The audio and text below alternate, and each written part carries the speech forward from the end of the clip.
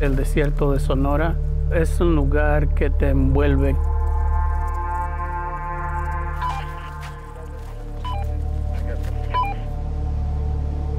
Es muy caliente, muy inhóspito. Si no estás preparado, puede ser que no salgas. Cada año cientos de personas desaparecen tratando de cruzar este desierto para llegar a los Estados Unidos. Nuestra labor es encontrarlos.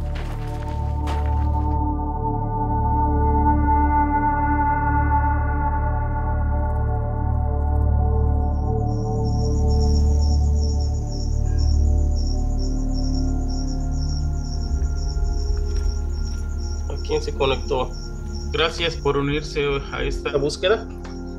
Vamos a discutir el caso de este muchacho de nombre Raúl Sánchez Sánchez, fecha de nacimiento septiembre 7 del 87, desapareció el 22 de agosto, es de nacionalidad mexicana, nosotros somos este, de estado de Puebla, de un pueblito de la sierra. Mi hermano se fue porque ya, ya no tenía trabajo aquí. Él trabajaba en acto lavado, pero pues en la pandemia todo se cerró.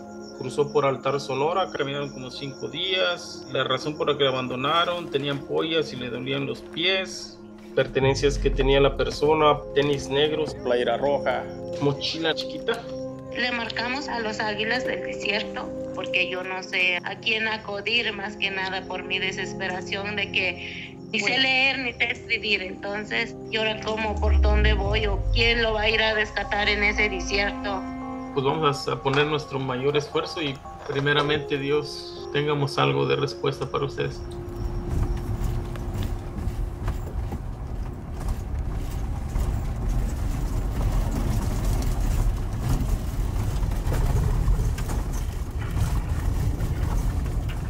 Estamos llegando al campamento de las Águilas del Desierto.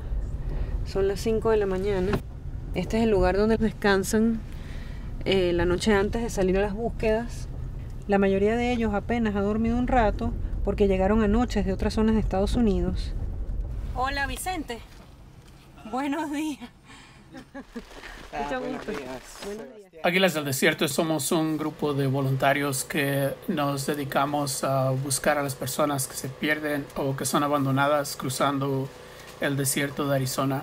Nos levantamos, preparamos todo el equipo, cargamos los vehículos y de ahí salimos hacia el área donde se va a buscar en, en el día. let's go.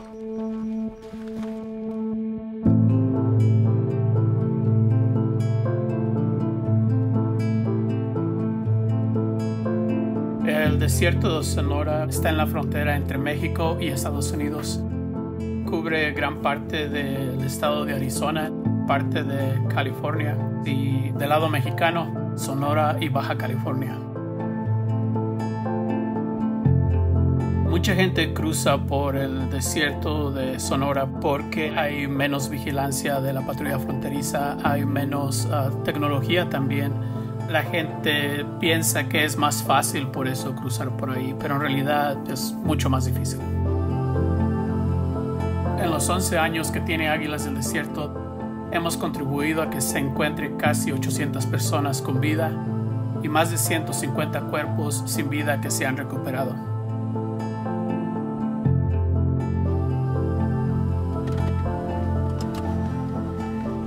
agarren su agua, su sándwich, por favor, asegúrense de que traen radio todos. lo pongámoslo aquí.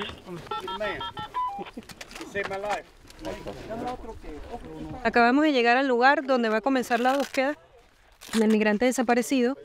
Eh, nos estamos preparando para emprender el camino y parte de lo que tenemos que hacer es usar estas protecciones contra las serpientes. Aquí hay aguas frías. Los que gusten llevar aguas frías, aquí hay. Pero la principal causa de muerte aquí es la deshidratación. Por eso los voluntarios llevan 13 botellas de agua cada uno, que son 10 para beber ellos y 3 por si encuentran a una persona viva. El radio en la camioneta es la base, con estos nuevos radios. Okay. Mi hermano y mi primo hermano se vinieron, cruzaron aquí en el desierto de, de Sonora y pues, ya no aguantaron y el coyote los abandonó ahí los dos perdieron la vida. Eh, nos tocó buscarlos, los encontramos cuatro meses y medio después de que ellos fallecieron y de ahí pues me vi la necesidad de involucrarme de voluntario y decidimos formar Águilas del Desierto. Ave María Purísima, Padre nuestro que estás en el cielo, santificado sea tu nombre. no hay ayudas para buscar una persona perdida en el desierto. Trabajamos a través de puras donaciones. Llaman las mamás, los hijos, la esposa, el esposo. Tenemos que darles una palabra de aliento, no te desesperes, vamos a buscarlos. No nos dejes caer en tentación y líbranos de todo mal. Amén. Danos, Señor, esa dicha de poder dar con esta persona y darle una tranquilidad a la familia por tu Hijo que vive y reina por los siglos de los siglos santos. Amén. Ave María Purísima, compañeros. Ok, compañeros, vamos a alinearnos, nomás pasando aquí. Vamos a alinearnos, vamos a caminar a lo largo de este cerco. Roberto, ¿estás listo? Ok, vámonos. Let's go.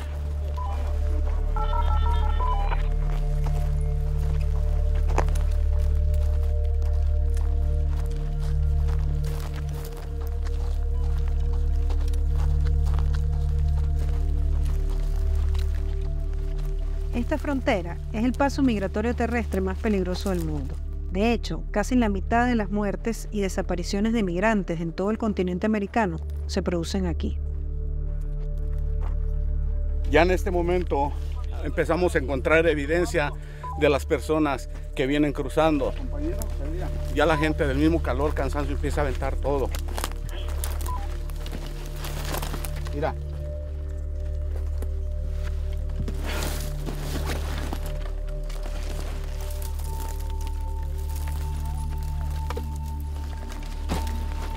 Cuando encontramos una mochila en el desierto, la revisamos para ver si tiene algún documento o algo que podamos utilizar para saber quién ha estado en el área. Estas son las mochilas camuflajeadas que ellos, ellos traen para no ser, o sea, devisados por la del patrón o el helicóptero que a veces anda aquí arriba, ¿verdad?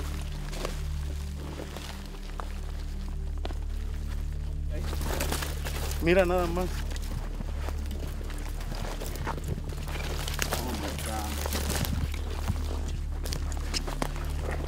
Estos utilizan ellos, nosotros llamamos zapatos de, alfombra. Esto se lo ponen ellos encima de sus zapatos con la idea de que esto no va a dejar huella, de que la patrulla fronteriza, los oficiales no pueden ver por dónde van porque tienen ah, alfombra.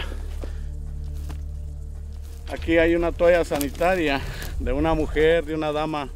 Por lo visto parece que fue usada. Pastas de dientes. Y todavía tiene la mitad.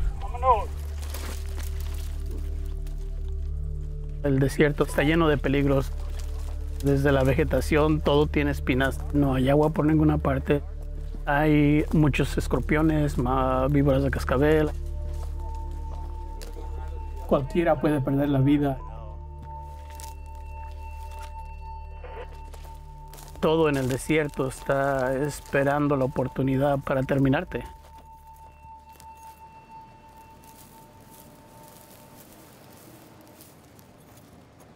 Se dice que cuando un sopilote anda rondando a la vuelta y vuelta en un lugar, es porque hay algo muerto abajo en la, en la tierra. Ahorita ya anda de nuevo es un ave de rapiña.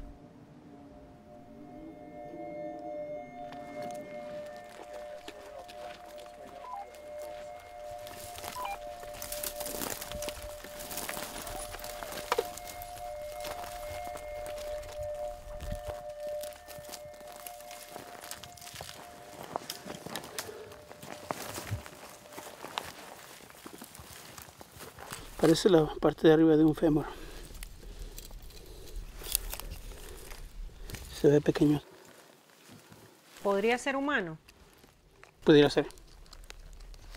Ya está muy deteriorado, entonces vamos a mandarlo al forense y ellos deciden si es humano o no. Muchos de los cuerpos que encontramos están debajo de matorrales porque la gente cuando ya no soporta más el calor y la deshidratación, ellos buscan dónde protegerse. Se desmayan o se quedan dormidos y ya nunca despiertan. El cuerpo muchas veces no tiene tiempo de descomponerse y antes de que comience el, proceso de descomposición se reseca por el calor. Entonces muchos, ah, varios de los cuerpos que encontramos están momificados prácticamente. El, olor es tan fuerte que cuando lo respiras ah, te corta la respiración.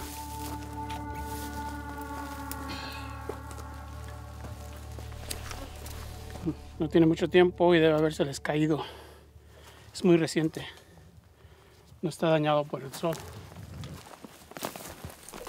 ¿Necesitan agua?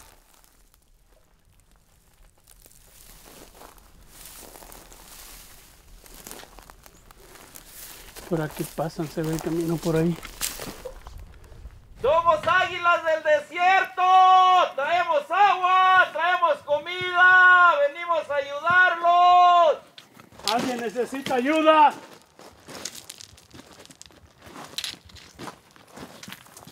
Somos águilas del desierto, tenemos agua.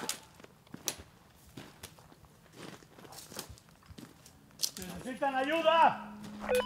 Nos llega una persona con vida, encontramos una persona con vida.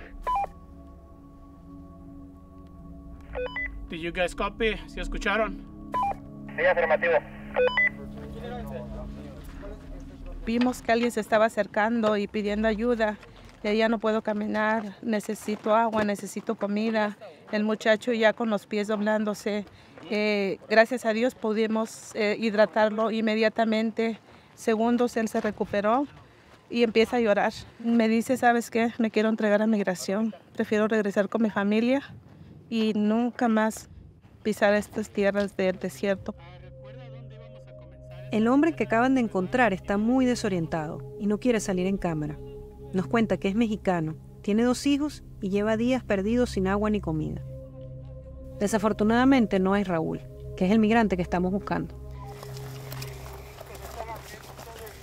Es el mediodía, llevamos alrededor de cuatro horas caminando. El recorrido es agobiante, no solo por el, por el calor, sino también por las espinas que se enganchan a los pantalones, a la camiseta, a la piel. Y resulta difícil pensar que alguien puede superar este desierto caminando solo, sin orientación y sin apoyo durante varios días.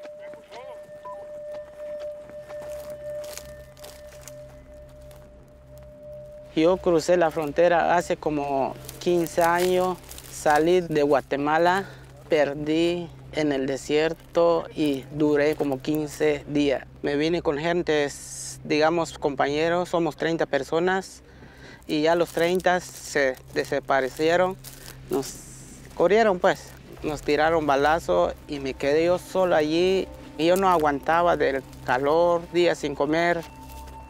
Sebastián me cuenta que él tuvo suerte y pudo salir e incluso socorrió a otra persona que encontró en el camino.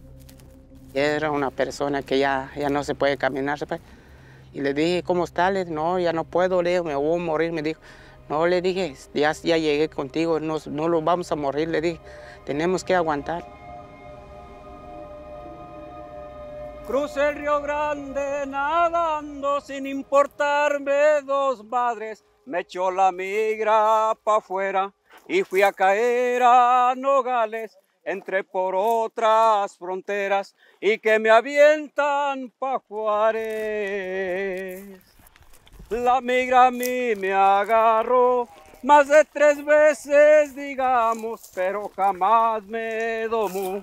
A mí me hizo los mandados, los golpes que a mí me dio, se los cobré a sus paisanos.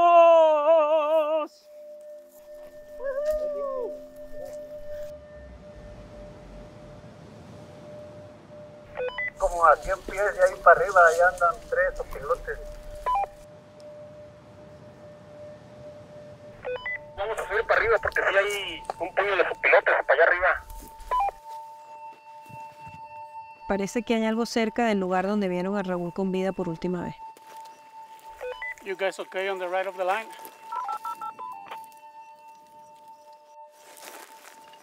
¿Encontraron algo ahí? Encontramos un cuerpo aquí arriba. Acá no están las piedras, vénganse para acá donde estoy yo.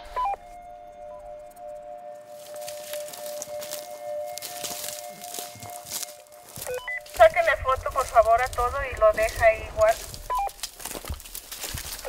Acordonamos la zona alre- alrededor del cuerpo. Cuando encontramos un cuerpo, le ponemos una cruz, porque creo que como católicos debemos tratar de entregárselo a Dios y la cruz queda en donde se encuentra el cuerpo. Ya estamos, ya estamos ah, próximos a llegar.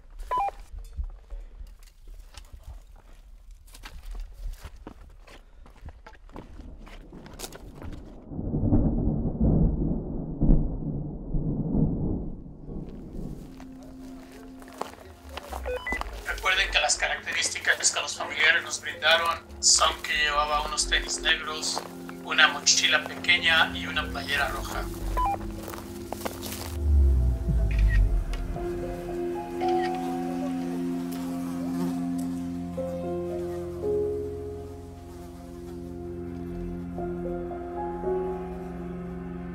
Son las indicaciones que nos dan y coincide con lo que él traía.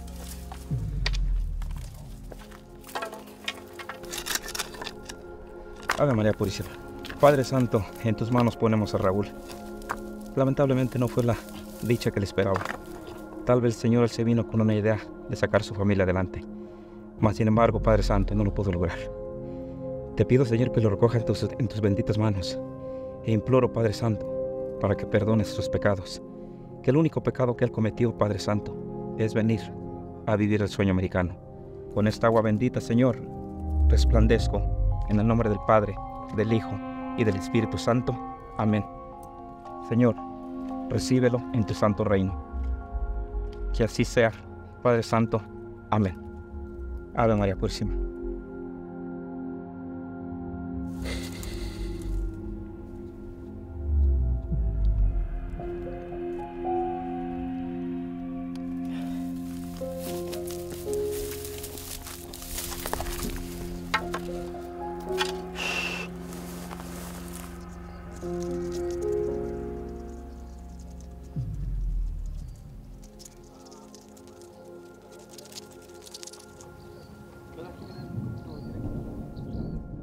De primero iba con la, con la emoción y la adrenalina de encontrarlo, pero luego cuando miré los pies que estaban así abiertos, como que empecé a sentir miedo, tristeza, no voy a decir gusto, pero como un, un, re- un alivio para la familia de que lo podemos encontrar, aunque ya esté en esta situación. Mu- Mucho respeto a, la, a todo lo que se, se arriesgan por una vida mejor, para ayudar a sus familias o ellos mismos para superar. Así mis respetos para, para toda la gente que viene, todos los inmigrantes. Sí.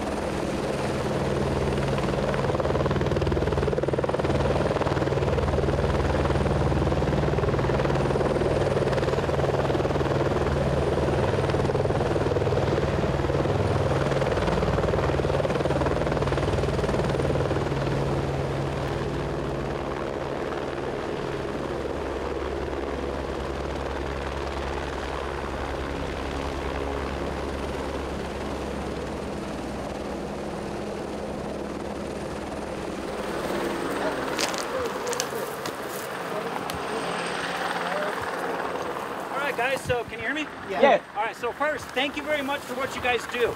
So this is this is pretty hard work, and it's pretty awesome what you guys do. So I'm gonna sit here for a few minutes. I gotta take a bunch of pictures, and then I'll just take more pictures of it and see if there's any identification or anything on him, and then we'll load him up. So we, you, you don't need us at all. Um, no, it's if you guys want to leave, and you don't have to help me by any means because that other deputy's coming back. Whatever you guys want, you're good to go. Got it. Thank you. All right. Thank you. All right. El departamento del sheriff Ellos revisaron la cartera y encontraron la identificación y correspondía a este muchacho, Raúl Sánchez Sánchez, que, que era la persona que íbamos buscando.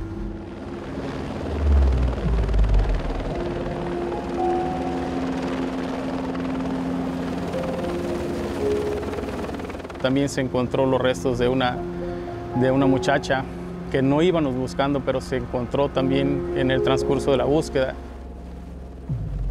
Cuando hago la llamada para comunicarle a una persona que encontramos a su ser querido, me revuelve la, en la fecha que, cómo pude ver los, los restos de mis familiares.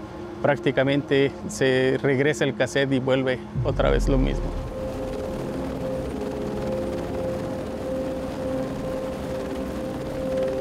se sale la lágrima para verlo. Empiezas a acordar todas las cosas que tienes, que has pasado en tu vida. Pienso que así como me iba a pasar, pero estoy vivo.